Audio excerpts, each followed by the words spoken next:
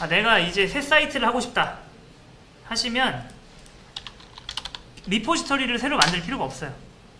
GitHub Desktop 들어갈게요. 그 다음에 그냥 여기서 요거 누르신 다음에 여기 보시면은 요게 있잖아요.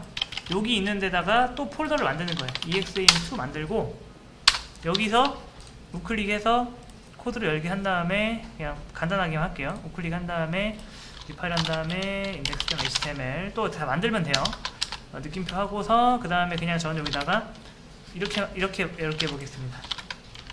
두 번째 사이트. 이렇게 저장을 했죠? 꼭 저장을 하세요. 그러면은 여기서 또 뭐라고 나오냐면은 또 이렇게 나와요.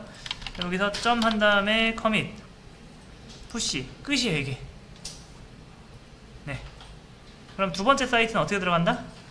두 번째 사이트는 여기 View on GitHub 여기 보이시죠?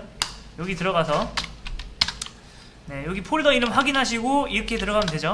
일단 이걸 어떻게 하라고요? 잘라내기 해서 앞으로 빼고 그 다음에 이 껌을 어떻게 바꾼다? 이걸로 고치면 끝이에요. 아이유로. 그 다음에 여기다 폴더명 exam2 하면은 됐죠. 이렇게 하시면 돼요